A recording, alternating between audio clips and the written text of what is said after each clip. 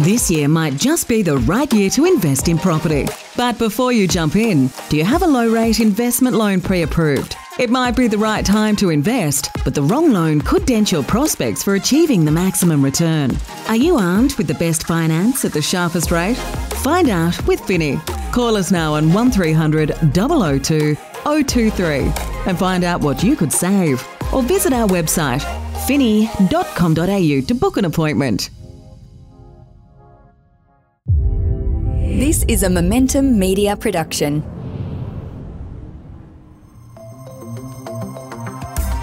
Welcome to the Smart Property Investment Show, the podcast by investors for investors. G'day, how you going? Phil Tarrant, host of the Smart Property Investment Show. I hope you're well. Chatting again through some finance scenarios. I know it's big on the agenda right now. Everyone, uh, I know a lot of people are stuck actually at the moment. Um, property investors can't borrow no more money, serviceability constraints, uh, rising interest rates. Uh, stuff needs to happen, I think, to get people back into gear. Uh, borrowing, looking forward, that doesn't mean you can't be considering your mortgages right now because um, guess what? There's probably a more appropriate product out there for you if you want to do the hard work to refinance or, or even work with your bank to get a a sharper rate, more appropriate rate. Um, it's tough serviceability has changed, and uh, you know we're sort of nearing the top of the interest rate cycle. Uh, whether a terminal rate yet, uh, probably not. Maybe another one, two to come. Uh, you know, fifty basis points, maybe seventy-five basis points all up, uh, and then we'll see the brakes being put on. Uh, the governor, Dr. Lowe um, of the Reserve Bank, has been getting grilled recently by um, in the Senate. a lot of questions, sort of around what's going on, decisions being made by the RBA, uh, the impact on Australians. A lot of that question is coming out of certain areas of the political spectrum who have an agenda. Uh, and this isn't a political podcast, but um, rightfully, Australians are hurting right now, and and you know he can't control what's happening globally in terms of wars in Ukraine and, and all these impact, all these factors were impacting inflation. He's trying to get inflation under control. That's what he's trying to do, and that's good to get that happening, get that reined in. We've got to put a lid on inflation and bring it back to normal levels, and that's normally two to three percent sort of band. That's where it's at. Um, the biggest issue he's got is that he pretty much told all Australians that rates wouldn't go up until um, 2024. So uh, a lot of people made decisions based on that, and uh, you know I get it. People are sort of a bit annoyed and having to tighten their belts, but that's the environment we're in right now. So Property investment is a game of finance. Absolutely. How you best manage your finances will absolutely determine your effectiveness uh, as a property investor. Where we are right now is that a lot of, even though people can afford principal interest loans, a lot of people are looking to bring them back to interest only, the tighten belt. I remember back in a day where you didn't have to actually do a application to a whole new application to get a put back on interest only. You just need to call the bank and say, I want to go interest only. They go, you know, worries, sorted. Uh, so it's tough now. But the issue is that a lot of a lot of Australian borrowers now can't, according to serviceability requirements, service an interest only loan, even though they can afford principal interest. So this is a really strange world that we're in right now. And and you'll see over time, I think softening of credit policy, everyone's sitting around waiting for that's got to be a signal that that something's going on. That this sort of buffer, this three percent they're putting on top of rates, which means that a lot of people are getting like getting assessed at interest rates of like 9% at the moment. So hence the reason why they're struggling to not only refinance, but secure new debt. So the point is get right across your finances, make sure what you've got right now is right, whether or not you are minimizing your costs connected with it as much as possible. And then think forward around it. And that needs to start with the mortgage broker, what you can borrow, when you can do it. The smart broker can certainly help you out and look at things a bit differently. And that's the benefit, one of the beauties of mortgage brokers. Um, one of the reasons why they write over 70% of all mortgages in Australia. So speak to your mortgage broker. I speak to my mortgage broker and I brought her back into the studio by popular demand. Uh, Eva Loisance, we get together every couple of weeks um, with view of just checking in, dialing in, keeping abreast of what's changing, whether or not she knows stuff that we don't know, and hopefully I can share it with you. But also more importantly is to share some of the scenarios she's working through. And we don't put any names to, to this stuff. We we make sure that these people aren't identifiable. We sort of mentioned to it, May, we might sort of chat about this, but we, we won't identify you because people want to know what other people are doing. It's easier for people to actually understand, appreciate other people's stories uh, and go, oh, that sort of sounds a bit like me. Maybe I can do something as well. And, and the sort of scenarios we try and identify when we do these podcasts is stuff which is pretty common, pretty normal, looking at things differently, looking it through a different lens, trying to achieve different outcomes. And a smart broker and brokers, uh, they connect with with many, many different lenders and hundreds, if not thousands, of different products. And this is the role of a mortgage broker to to consider your situation. And back in the day, they used to think everyone was a vanilla mortgage and and robots will do a people mortgage. I don't know any vanilla borrowers anymore. It's hard to get a home loan. Uh, so uh, you need someone fighting in your corner to help you out. So we've got a really good scenario today. Eva, how you going? I got your name right. It's embarrassing. Yes. yeah. the third good. time we've done this now. It's good. Really popular. Yeah, it's good. Yeah, look, it's. Uh, I think it's great. Um, we've had some clients actually getting in touch with us um, the last two weeks based on a scenario we shared, and we've been able to help them. So mm. it's actually been good. Yeah, and I'm always quite interested in in what you're up to. Um, uh, Finni Mortgages, uh, it's a mortgage broker I use. It's it's a mortgage broker I leverage, and you know I believe in that business so much. I invested in it. It's a good outfit. They're doing smart stuff, particularly for property investors. But my spies tell me, even my spies tell me that you have been chatting with some buyers agents I know, Luke Moroney over at uh, Search Party. How's he getting on? Yeah, he's good. Yeah. Yeah, we've um, we've been sharing a little bit of um, um, why it's good to use a mortgage broker and why we should also use buyer's agents if you're trying to build a portfolio and build wealth over time. And I think that'd be some really good insights for people to either start their journey or keep on the journey. Keep on doing. Is, is he busy at the moment? He's. I know he's pretty active. I see him out there. I know he does a lot of running. By the way, he's a huge runner, Luke. Um, uh, you, we follow him on the social media. I think he does a run every day. He's pretty committed to it. Um, but business well for him. He's doing well. I believe so. Yeah. Yeah. Yeah. Yeah, it's good. Yeah. Anyway, I, have spoken to Luke for a while. I know he tunes into this and some of the other stuff to do. So, g'day, Luke. Well, I'll drop you a note at some point and say g'day, and uh, I keep up the good work uh, and, and a lot of the commentary you're doing yourself around um, buying and investing in property, which is good. There's sort of groundswell right now. There's a lot of interested parties trying to help out Aussies. And, you know, we're at a point in time right now, to my point, Eva, where it's challenging to get finance right now. It's, it's, it's, it's, it's stifling a lot of people's activities or they're having to think about things differently, right?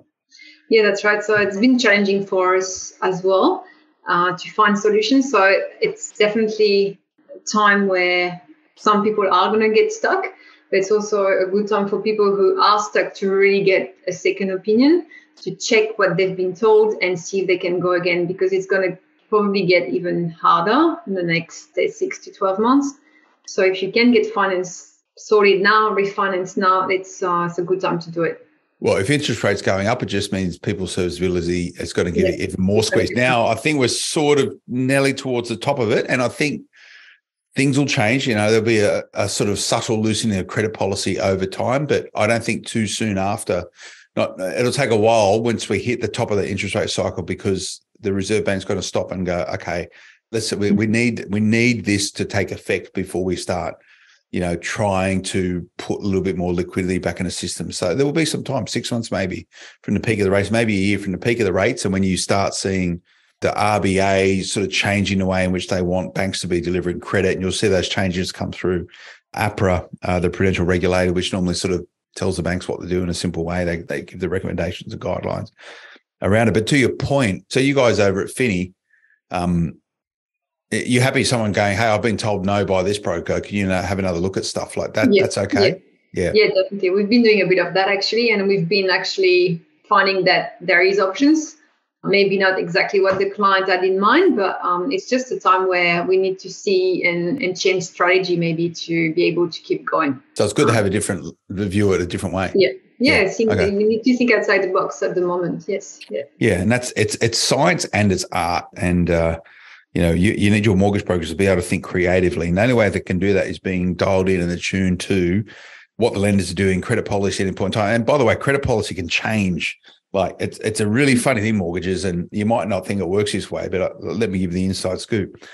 Some lenders will go, "We got all this money, and we want to increase the flow of new loans." So they'll go, "Okay, let's quickly do an offer. It might only be a week." They might go, "For this week only, we will give this special rate, or we'll give this particular incentive. There might be a cashback, or whatever it is, right? But it might only be for a week they have it and they go, okay, we just want to get more money out the door for whatever reason it is.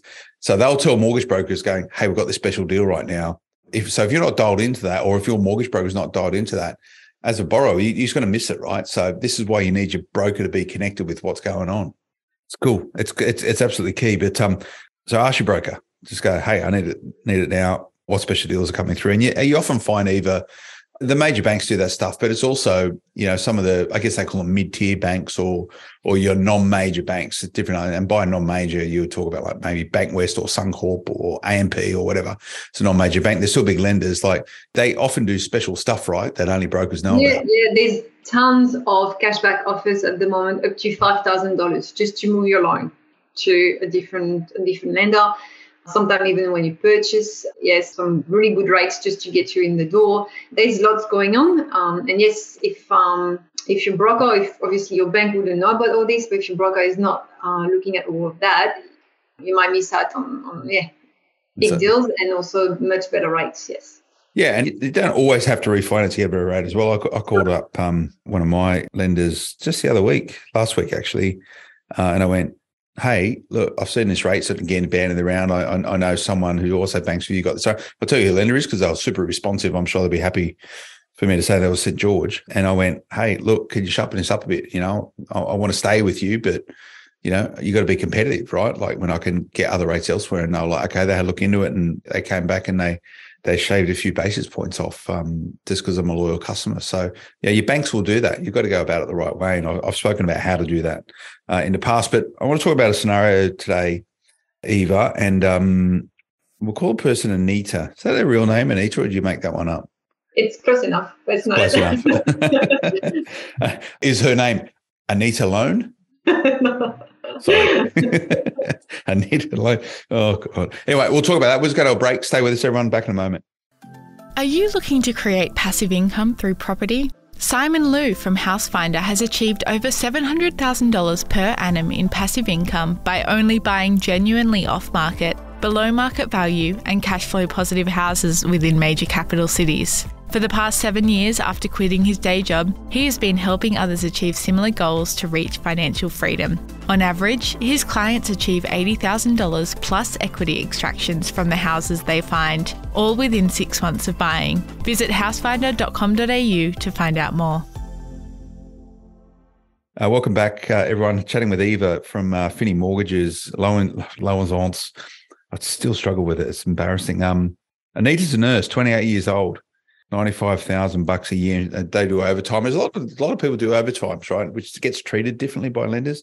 20 grand overtime. Rents in Western Sydney for 430 bucks a week. And, and Denise is a nurse, right? So I remember back to the, the last, the, the, the election before the one we have right now when, um, when, when, when Labor was going to be a shoe in, right? And they re-elected uh, Scott Morrison. I think um, Shorten was was the opposition leader, and he was preparing for um, forming government. He didn't get in, uh, but they went into it trying to, you know, sort of painting a picture around property investors. And it was talk about changing the way in which um, the taxation will work for property investors, which was going to be negative for property investors. So there was this sort of big, big fanfare around it. Even this is a point I'm making, so bear with me. But it was sort of like, you know, they tried to um, there's this sort of sense of demon, demonization of property investors, and it's probably the wrong term, but it was like property investors are rich people. Property investors are hugely wealthy and, you know, whatever. But, you know, the reality of property investing is that the everyday Australians, I think 8% of Australians in some way claim some, some of the tax deduction on their tax return as a property investor. And the point was that they're nurses, they're teachers, they're police people, they're people like the, these, I would say, hugely important jobs in the economy, but they're not deemed to be these high paying jobs. They're just normal everyday Australians getting on with stuff with these jobs, firemen, you know, um, ambulance drivers, you, you, know, people working in factories and stuff like normal Australians and property investors. So I'm happy that you've brought this up as a uh, an example because a nurse on 95 grand with 20k overtime, right? Like that's not a bad salary. Let's be clear, right? It's, but it's not it's not the upper echelons of what people are earning. It's it's pretty standard, Eva. Yeah, look, she um yeah she earns that say um probably not the average, but uh, a little bit over that, but nothing. yet. she's not like a, a CEO with huge bonus and dividends and, and what have you. So, and yeah, most of people we see through Finni anyway are yeah everyday Australians, definitely. Just just getting on with stuff. I, I know there's cops. I know there's a, number of police people you do uh, Yeah. uh, doing loans for, and uh, and by the way, that can be the hardest. I know a lot of cops. That can be really hard to deal with, uh, particularly particularly detectives. Ask too many Let's questions. start. Let's not start on. They ask too many questions. very, very curious, inquisitive people. Um, uh, thanks to all of our uh, uh, boys and girls uh, in blue who uh, look after stuff um, in the important work that you're doing. So, uh, Anita, nurse, you know, there's people on the front line of the COVID pandemic every single day still, you know, supporting Aussies. Um, she bought her first investment property in February 2022 uh, for 435k Eva in Western Australia. She had cash money for a 20% deposit, which is good, working hard, doing overtime, saving her shekels. So she wanted to buy a second property with her buyer's agent now, but she's got no more cash and she doesn't want to pay LMI. So she wants to buy a property, but she's got no money and she doesn't want to pay LMI. So she's stuck. Tell me about this scenario. Yeah, so she's got actually a little bit of uh, a little bit of cash behind her, but she wants to keep it for you know personal use. So she was really at the time when she bought her first property a year ago, she was really set onto buying two properties, and thought that she could be um, keep on saving and and keep investing, and then by now she would be ready for the second one. Turns out, obviously, with rate going up, and she's been going a bit overseas and, and traveled a bit, so the cash savings that she thought she'd have isn't wasn't there. Uh, so she has she has some cash, but it's just not enough to buy a property, or maybe she could, but only with a ten percent deposit at this stage, and that obviously incur lender's mortgage insurance, which is not a bad thing in itself, but she for some reason is very set against it. She's like, I'm not paying any extra fees. I refuse to do it. Uh, she wouldn't be able to see the bigger picture of, you know, ten thousand dollars worth of LMI is nothing when your property is gonna, you know, grow by, you know, hundred k. She just she knows this, but she just can't get to a, a head around it. So she's like, I'm not paying LMI. Find another way. So that's where she's at when she comes and see me. Yeah. So you can't persuade her down this path of LMI. And just for, I know a lot of investors are going to go, "Yeah, we know what LMI is, don't need to go back over it. But we get a, a big spread of, of, of um, investors and potential investors tuning into this podcast. LMI is lender's mortgage insurance. So it's an insurance policy you pay for that protects the lender that you default on the loan. So uh, it's not nothing to do with protecting your property, whether it's because you're going in at a, a, a, with a less deposit, so not at 80%, 90% LVR, which means you're putting 10% down and the bank's ponying up the rest of the money. This ensures the lender um, around uh, in, in the ensuring the integrity of the repayments over time. So that's what the policy is. Back in the day, I used to do a bit of stuff with with Genworth. Uh, Genworth is like one of the the large, or it's probably still the largest uh, LMI outfit in Australia. And, and I remember like they used to bang on about it all the time, right? For this exactly this reason, Eva, where people go, I don't want to pay that. I don't want to pay that. And and and their logic would be, we can pay the LMI now. And and I don't know what LMI is on a, a four hundred thousand dollar loan. It's probably about I'm so far away from it now. Let's about say five, let's say uh, between eight and ten thousand, depending on the bank. Yeah. Go between eight and 10 grand. And so they would say, you pay that money now, which can be capitalized into the loan, right? So you don't actually need to go and find this money. It just means your, your mortgage is a bit higher.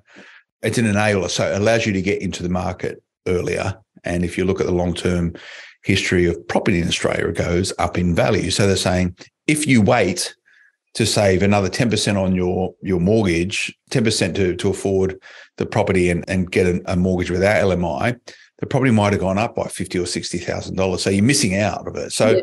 why can't Anita see that? Like, I don't know, maybe she should listen to this podcast and go, oh, I sort of understand it now. But um, We went through it for quite a while, and she doesn't understand it. She just said, "I just my mindset is like I do not want to pay anything extra to bank," and she just refuses to see it. So there was just no way for her to get to that. But um, you know, but the thing's about, I would argue going, well, you don't need to use a buyer's agent. You do it yourself and you can save yourself 10 grand there. Like really, or whatever it is. I don't know which buyer's agent she's using, but, but she go, no, I want to use a buyer's agent. No.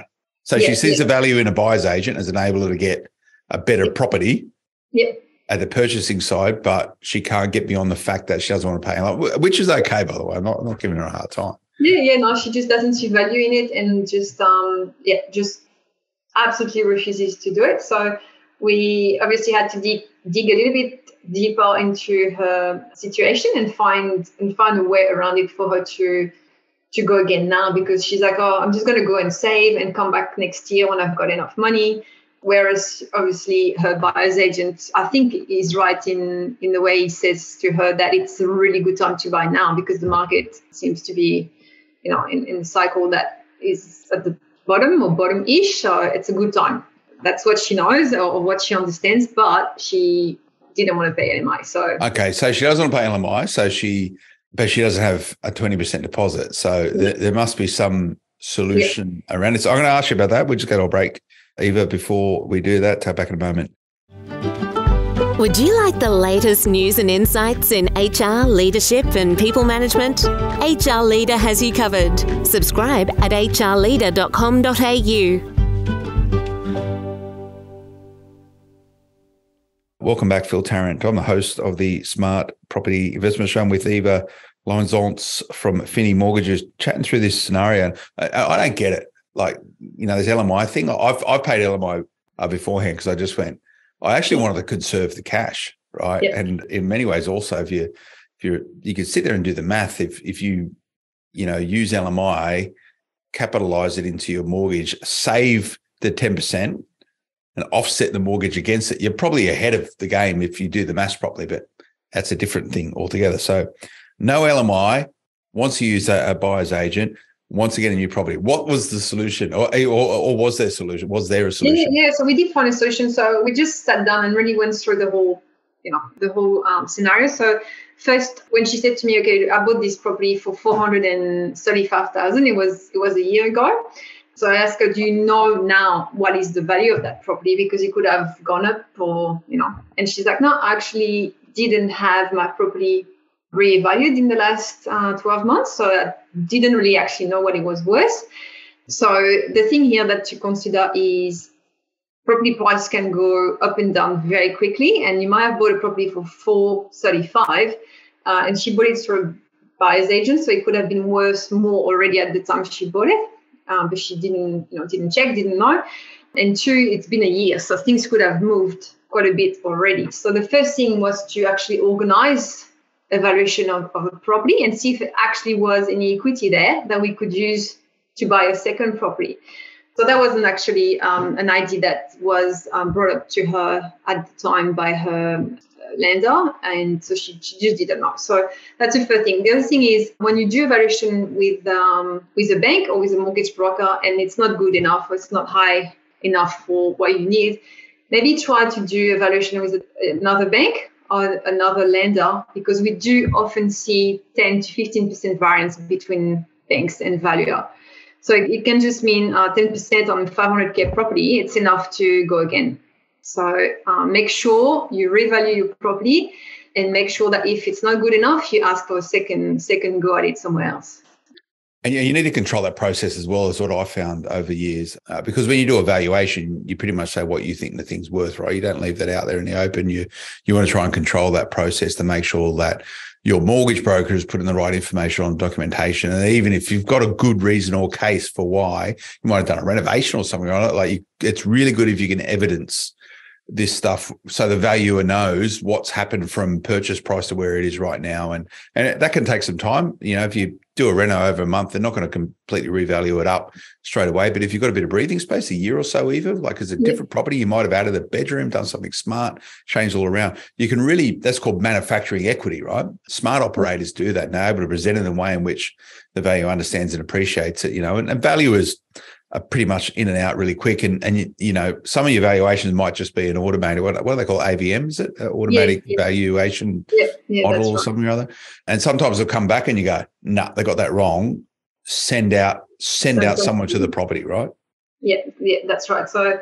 Uh, in her in her case, she actually did buy a property that was a bit run down at the time, and she did very minimal cosmetic changes, like a bit of paint, uh, new carpet and the kitchen actually she just repainted the, the cupboards and it, it just looks so much better right? Uh, based on the photos i've seen anyway. And then so a valuer went in and the property valuation came back at 478 from 435 when she bought it. So there's quite a bit there that we, we can play with. So she, she was surprised obviously and um, and happy. So that was the first thing we we looked at is the valuation. Is there any equity there? Which there is so that was um, yeah, that was one point to to really um, share with listeners today because that's often missed is how much is worth. So the idea is that get the current investment property revalued. If there's equity in there, you can refinance that and use that that additional cash as a deposit to add to cash deposits you've got to come up with the 20%. Yeah. That, that's like, you know, what's really funny, and uh, it's not really funny, but um, uh, for a lot of people, when they understand that, it's like you see it all the time. It's this light bulb moment. People don't get it. And you see, I've seen it time and time again with property investors over the years where they go, what, so I can buy another, they go, so I can buy another investment property by using the, because I bought well, the growth I've had in that property to refinance it. And that means that as a deposit, I don't need to save myself. I can, and, and you, you see people doing their, their mind, you see their, their itinerary go, they go, really? Is that, is that, can, can you do that? And when they, when they understand it, they, it blows their mind and they become obsessed with property. Like you said, they come obsessed with property investment. And that's good if you're buying good properties, right? You know, let's remember most Australian investors have one or two properties. And the reason why is because the first property they buy is not a good property and it doesn't allow them to do that. So this comes back to like your first property and property investment is absolutely key because that will be the accelerant to supporting you to do stuff. And you know, depending when you get started in property will will shape your strategy around doing it. But the idea of you know time in the market rather than timing in the market, as in the longer you're in, in the market and property investment, the better off you're probably going to be about it, right? So you buy well at the start.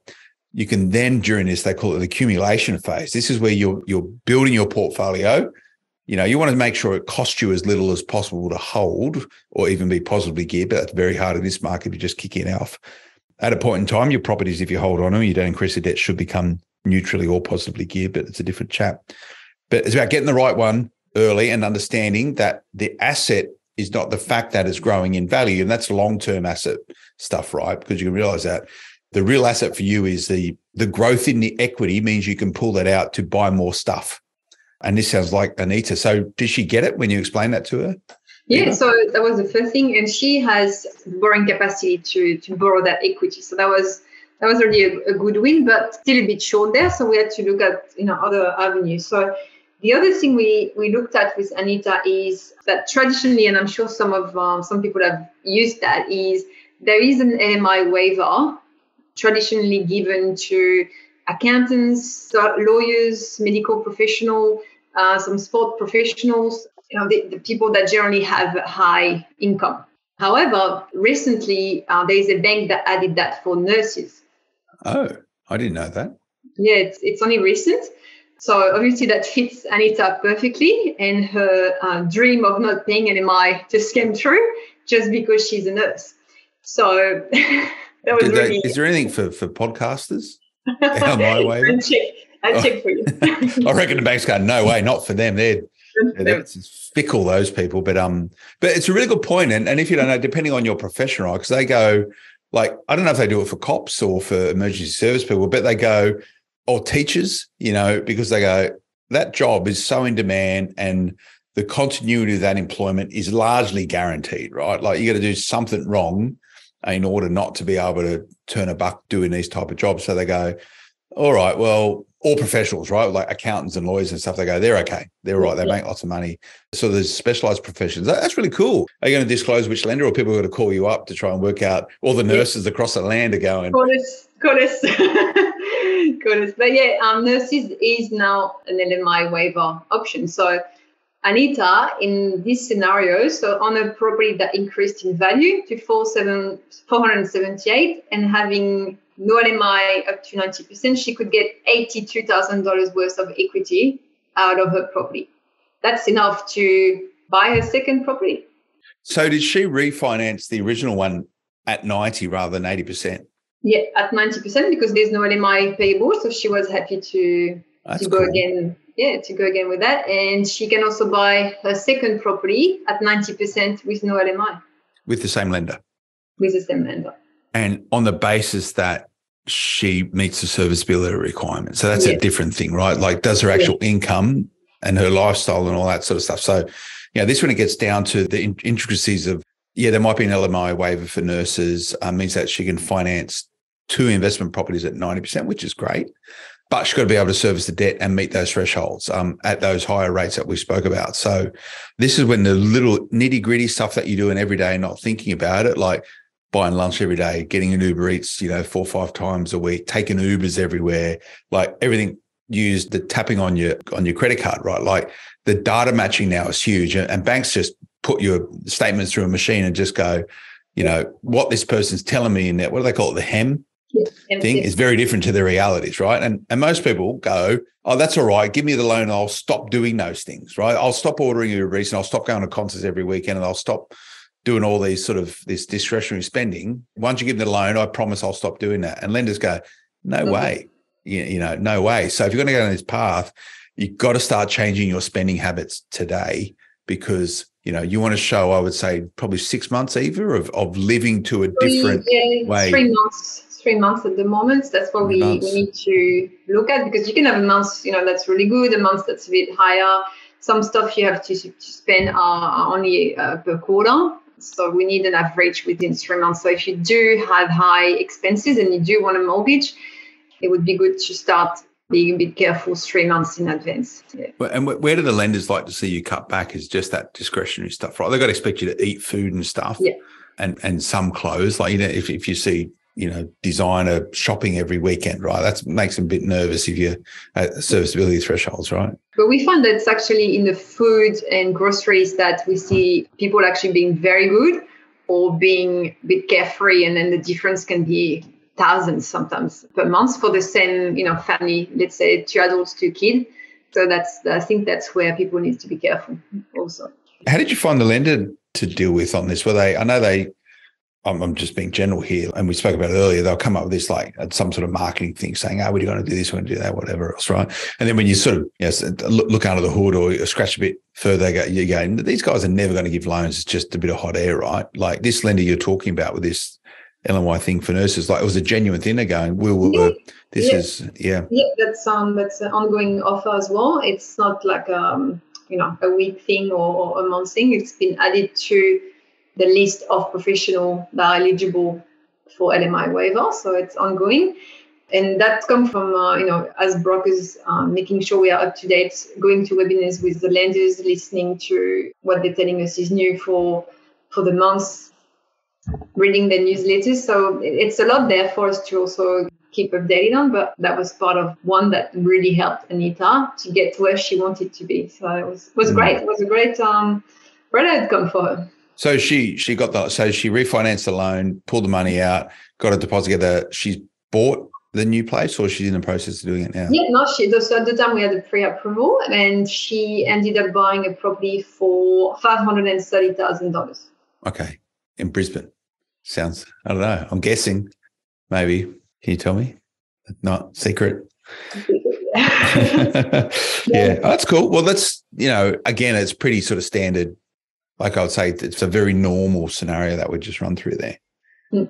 That's cool. I, I, I, didn't realize. Um, do they give mortgage brokers any preferential? No, no.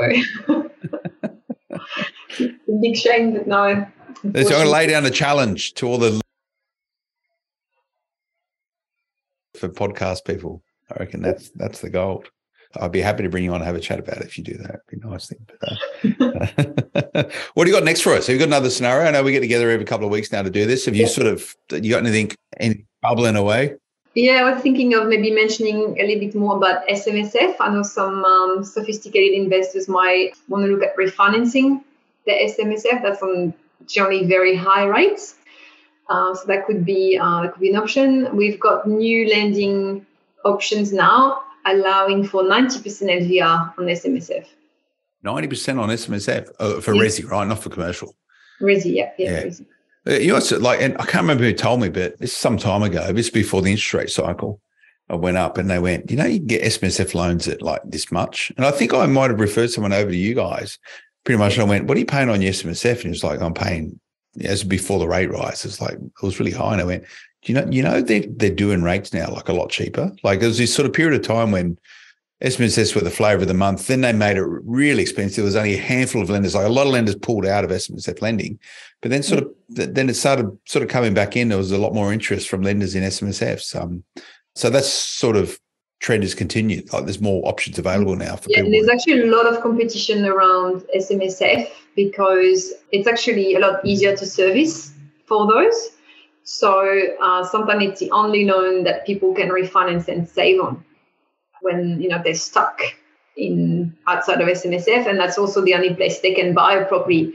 So it's it's becoming more and more common uh, for investors to have three, four properties. They're stuck, they can't do more, and then they're looking at doing okay. it through SMSF. Yeah, let's. I think that's a very good case study because if people have got a big and and and the retail and industry funds will hate me for saying this, but if if you've got a big balance in your your your retail or industry funds um, and you're just getting a return and say you've been building it up for 20 years you're, a doctor or a lawyer or you know a lot of them have super funds but um, like nurses and cops and these people we're talking about might want to have a think about you know how you can deploy that inside of an SMSF because with SMSF lending, they don't consider all the other stuff. It's it's insulated to just the SMSF, right? So if you have a big deposit based on the balance of your your super fund. You've got to remember, is a lot more restrictive investing inside of your SMS. Like you can't like manufacture equity, you can't do all that sort of stuff. It's very hard. You can't offset. I don't think mortgages inside of it. So it's a it's a lot more restricted what you can do.